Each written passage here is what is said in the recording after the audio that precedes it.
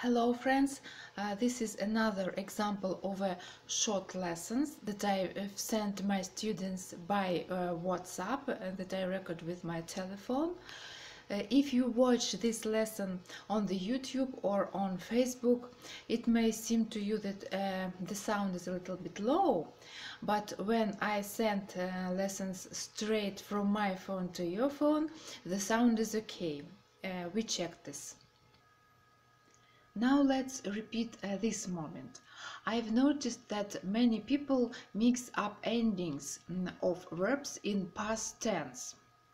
For example, in English, he went, she went, uh, verb is the same form, uh, verb has the same form, but in Russian, he went, он ходил, she went, она ходила, a verb uh, changes its ending depending on a gender.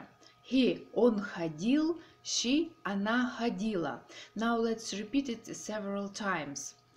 For example, uh, a man went, мужчина ходил, a woman went, женщина ходила. Мужчина ходил, женщина ходила. Он ходил, она ходила. A, a boy went, Мальчик ходил, a girl went, девочка ходила. Uh, my son went, мой сын ходил, my daughter went, моя дочь ходила. He, uh, he went, он ходил, she went, она ходила. Um, for example, uh, he wrote, she wrote. He wrote, он писал, she wrote, она писала. Uh, a boy wrote, мальчик писал, a girl wrote, uh, девочка писала. Мальчик писал, девочка писала. Uh, my bro for example, my brother watched. Мой брат смотрел.